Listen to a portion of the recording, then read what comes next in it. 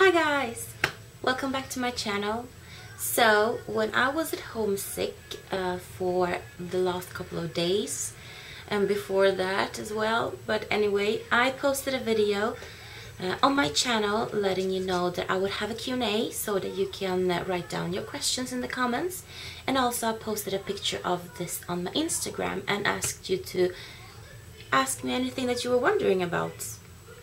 And I got a few questions, so without any further ado, let's look into them. I haven't really looked at them prior to filming this video because I kind of wanted the answers to be as spontaneous as possible, so to say. So let's start with the questions I got on my YouTube uh, video. The first one, I have it on my phone, so if I'm looking down, you know why. So the first one is from Wendy Esther Loving 50. Hi, love. Hi, honey. What do you do for a living? What is a day in your life like? Love, Wendy. So, what I do for a living, my role is called governance specialist. I work within a pretty large credit card company here in Sweden and I work with operational risks and I work with compliance. So I support the both uh, functions within uh, the credit card company that I work on. So there are, it's very analytical, it's uh, somewhat system-based. I am responsible for the system that we use to have all our risks written down, the controls, and operational risk is basically uh, every company, um, especially in the credit card market, needs to have needs to have um, an operational risk framework, or well, and risk framework, enterprise risk framework, but I'm currently working for the most with operational risks. Meaning things that are operational, like processes with people involved, systems and so forth, things that might go wrong in some way, that might cost money, that might affect customers, that might affect the reputation of the company and so forth. So we support the business to identify the risks, we support them to assess the risks and uh, implement valid controls and actions where needed. And also I support the function that works with compliance, meaning that we follow all the regulations that we have to follow within our uh, branch or line of work, so so to say. And besides that, I am a bit um, responsible for communication from our team. I'm responsible for reporting to the boards, um, like collecting all the data that needs to go to the boards, holding all the strings and securing that all the reports go out on time and so forth. So yeah, basically that's what I do for a living. And uh, it's a little bit complicated to understand sometimes, but that's like in the big picture what I work with. And I'm very content. I have worked in this company for eight years, but I have worked with operational risks for like three or four years now. And it really wasn't anything I thought I was going to work with, but I have I've come to love it and think that it's very it's very giving and it's it's always changing so you are never bored. There's I don't have any days at work when I don't know what to do or have anything to plan for. So yeah, that's what I do for a living. And the other questions he had uh, was, what is a day in your life like? Well, it really, really depends on if it's like a regular day where I have to go to work or if it's a weekend. So if it is a regular day when I go to work, I wake up in the morning pretty early, like 5 a.m. early.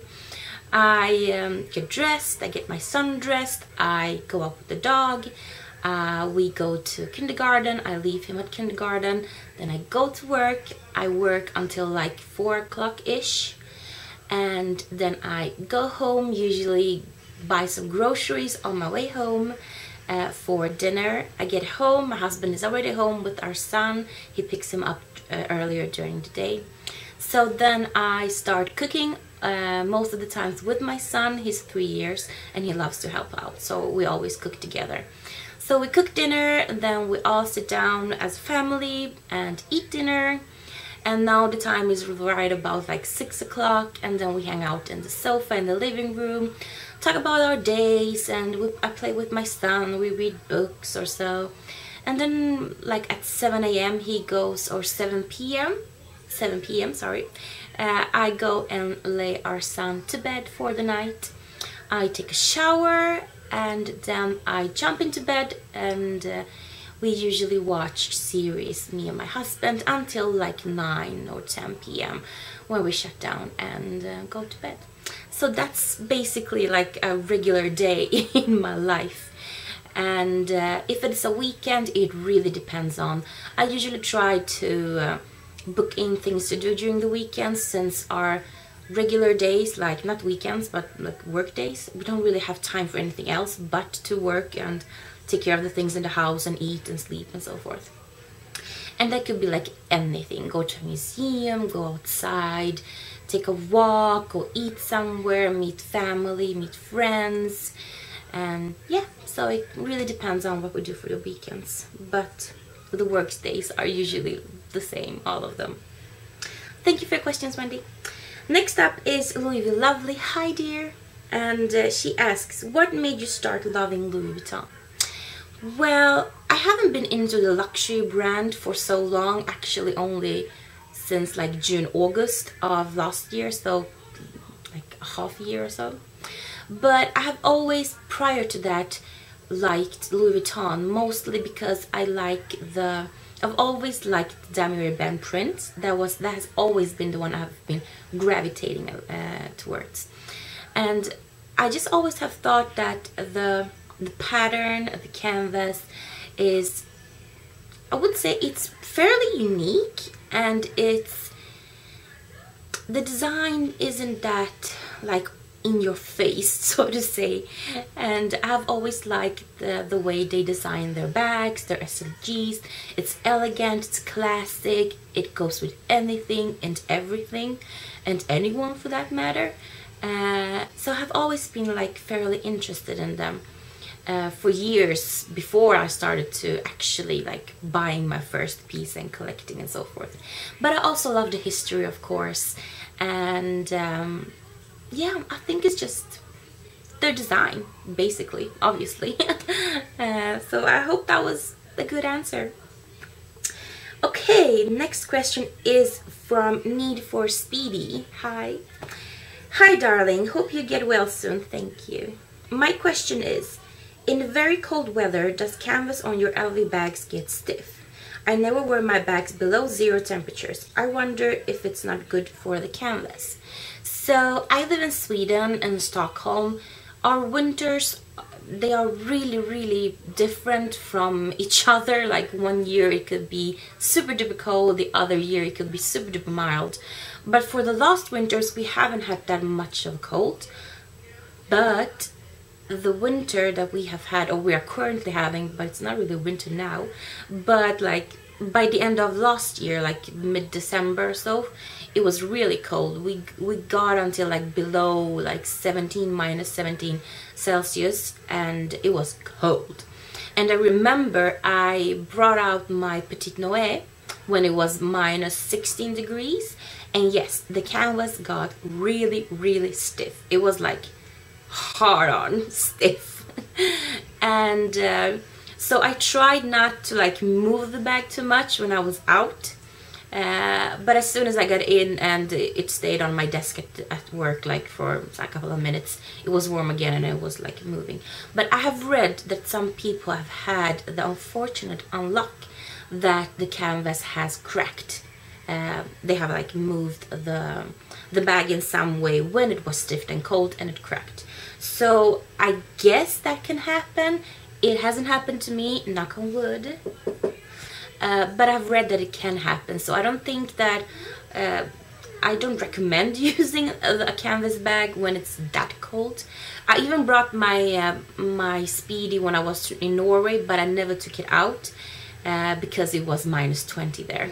So since my Petit Noé got so stiff I'm fairly afraid to use it outside when it's cold. So lesson learned I will not bring my uh, canvas bags outside when it's below. I think it's okay when it's like minus 10. I don't think there was... it's not a problem when it's only that cold, but when it goes below minus 10, then I think we have a problem. Hope that answered your question. I would, I would really be careful if I take them out in that cold weather. So that was the questions I have on YouTube. So let's jump into the questions I have on Instagram. So first off is your sweet mom. Hi. Hi, if you will have to choose one LV piece to buy, which you will choose between second-hand Speedy 25 or a brand new Mini Pochette Aviation? That was actually a very easy question to answer. I'm I'm not a person that is like very into the um oh sorry I have something in my uh like the printed um, canvases like the limited editions. Not all. I wasn't drawn to the aviation. I think it looks pretty. They are gorgeous but it's not for me. It's not for my use. It's not for my style or so. Uh, so i will definitely choose the second hand or the pre-loved uh, Speedy uh, 25 because I'm actually looking at a Speedy 25. I have a Speedy 35 at the moment, which I love. I love the size, it's great. But I would like to have a 25 in the monogram canvas. So super easy answer. I would definitely get the monogram, the Speedy 25. Even though I do like the mini pochette, but not the aviation version. version. I'm a little like matchy matchy person. I would have so much difficulties to match all the colors that are on the mini pochette aviation with anything like that I'm wearing. Which is odd because I'm fairly colorful right now. But no, definitely the Speedy 25. So next question is from Heart My MJ. Hi. What was your first designer piece? Okay, my first designer piece was a Fendi bag this was a couple of years ago. I will have to say like 10 years ago. And by the way, I'm 29. So it was, no, it wasn't 10 years ago. It was like 14 or 15 years ago. It was a Fendi bag. Uh, one of the, oh my god, I don't know how it's called, but I'll insert a picture of it right here so you can see what bag it was. And I don't currently have it in my possession. I really enjoyed it. I loved it. I used it to death and I would definitely repurchase that bag because it was a great bag. I think that it went great with everything. It was slouchy, it could fit a lot. It was like a great like day-to-day -day bag. Not if you go into work, if you have to bring a laptop, because that was definitely not fit in there. Uh, but that was my first designer piece actually and I got it from my mother I think it was or we bought it somewhere together I don't really remember but that was like my first first first designer piece totally beautiful. I had her for years. So sad that I don't have it anymore. so yeah, that was the answer. Next question is from Arabella1. No, sorry, Abarella1 on Instagram. What is your favorite piece? Hmm, I will have to guess that you're asking my favorite Louis Vuitton piece. And, ooh, that is a like very hard question to um, answer. Uh, I have to answer in two ways. My favorite piece just for the looks of it and my favorite piece for the usage of it or like the versatile usage of it. My favorite piece for the looks of it is definitely still my Louis Vuitton Vernis in the Pomme d'Amour color which I will insert a picture of. And my favorite piece functionality wise as of my collection right now is definitely my vintage Louis Vuitton Petit Noé which I will also insert a picture of. And I love that piece so much. It's a bag that you really can since you can carry it on your shoulder it's practical and it fits a lot. More than you can think you can have you can have it like really small and petite as the Petit Noé. You can have it stuffed and filled to the brim of it and it still looks gorgeous and the design and the look of it, it's so original. So I would say those two are my favorite pieces. I'm so losing light now. It's getting dark in here now. Oh my god, let's do this. Uh, so, next question is from the wonderful Beauty and Lux, and she asks, which SLG do you reach for the most and why? I would have to say that as of now, it is my 6 key holder, my Epi 6 key holder, and I will insert a picture of it as well. That piece is the one I'm using every day, all day, whenever I go, wherever I go, is the 6 key holder. I totally get why that piece is the top on everybody's list and why that is the best starter piece if you're going to start with Louis Vuitton collections. Hands down, six key holder. That's the one I'm reaching for the most. Well, besides my uh, Louis Vuitton passport cover, which I use as a wallet, and I use my wallet almost every day. But if we don't think about the usage of the wallet, it's my six key holder, definitely. Next question is from Karen C. Karen.c.h. How do you choose a Lux uh, reseller to purchase from? Do you have things authenticated? That's a very good question. I'm just looking at the time. I have filmed for 15 minutes. This Q&A perhaps will have to be in two videos. I don't know. Let's see. Perhaps I will just have a very long one or split it in two. We'll see. So, yes, I have purchased from uh, eBay three times now. I purchased my Petit Noé, Vintage Petit Noé from eBay. I purchased my six key holder and my Louis Vuitton passport. So the way I go about is I usually just search for the item that I'm interested in for the price that I have put in my head that this is the most I am prepared to pay for it, to pay for it because they're vintage and pre-loved pieces. And also I have, have a picture in my head. Sorry, I've also bought my my Louis Vuitton Compagnie. I'm, it's like impossible for me to pronounce that, but it's a big makeup travel kit. And I also put in my head what is the condition of the piece I am willing to go for which flaws I'm willing to have in that piece for the price I'm prepared to pay. And then I just stalk eBay. I stalk eBay, I browse it, and when I find a piece I'm fairly interested in, I always look into the seller. What is the seller's uh, feedback? How many feedbacks? How many are positive? How many are negative? I always read through the negative uh, feedbacks just to be sure uh, why the feedback has been negative. If it's like 20 negative that uh, that seller has sold fake Louis Vuitton pieces, then I would definitely not buy from that seller. I won't take that risk. But I usually always browse the seller, check it out, and I am fairly good at authenticating uh, items by myself. I've googled my ass off, I've watched videos, I've I've just learned from a whole lot of uh, like studying Louis Vuitton that I could actually uh, authenticate the pieces myself by the pictures that the seller posts and if there is a picture I'm missing or like something I'm missing from it I will ask for that picture before I, bu I buy the pieces uh, so no, I have never authenticated my pieces from anybody else, but I am 100% sure that my pieces are authentic. Just because there are there are specific uh, things to look at uh, for each piece for Louis Vuitton as a as a whole as a whole uh, to be able to authenticate it, and I feel fairly comfortable doing it myself.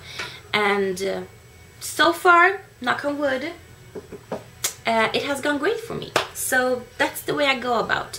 It's really it's really important to browse the sellers, look at them. How long have they been in business? How how is the correlation between the positive and the negative feedback? What is the negative feedback? And just follow gut because I remember I saw I followed a seller looked at the item and I mean they were great but there was something inside of me telling me that this item looked far too good for the age of it. And there were several items from Louis Vuitton that they were like it was fair to it was just too good to be true so to say. And yeah that was that was like like how do we call it? A plus uh, like replicas they were good I mean they were good but if you don't know your Louis Vuitton, you would never guess that they were fake. Uh, so yeah, that was my question. I feel fairly comfortable in authenticating them my, by myself. Uh, and I always pay with PayPal. That's another thing. So next question is from bag underscore LV lover. Hi. And the question is, how do you organize your handbags? Uh, I have been wanting to do uh, like a new video of what's in my bag um, but I used to use an organizer for my Speedy 35 but I I noticed it that the corners on my Speedy were starting to get damaged because of the organizer within them. I bumped my bag into like things, places, people, and that started to rub off on the corners because the bag wasn't slouching, but it was like square. Because I do like my speedy like in its shape and not slouchy. Uh, but since I noticed the, uh, the, um, the, the, the, wear and tear on the corners on the Speedy, I took it out immediately and I'm not using that anymore. So what I use is simply my SLGs. I use my cosmetic pouch, I use other types of pouches to just store and organize my things. But I will definitely do a video about that uh, for that in, in the coming weeks. So stay tuned. Uh, okay, next question is from Mrs. LV Lover. If you had to have one handbag, which will it be and why? I would have to, if I say going from my current collection, I will have to say the Louis Vuitton uh, Petit Noé. Love that bag, as you can hear. And it's, I love my Speedy, don't get me wrong. But the problem with the Speedy is that it's only a handheld bag. And it's a little hard for me to always have a handheld bag. So I will go with my Louis Vuitton Petit Noé Vintage. That bag definitely, I mean, dress, you can dress it up, you can dress it down, you can stuff her, you can have her as a little petite bag. She's great. But if it is a bag that I don't currently have in my possession, in my collection, is the one that has been on top of my wish list for the longest, and it's the Neverfull. Because I just think that the Neverfull in the MM size, in the MM print, would fit my lifestyle perfectly. So that would be the bag.